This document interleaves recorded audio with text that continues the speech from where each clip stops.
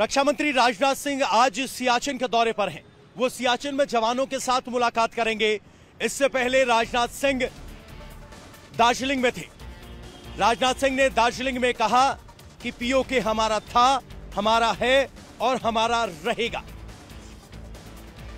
PoK हमारा था, PoK हमारा है, पीओके हमारा रहेगा।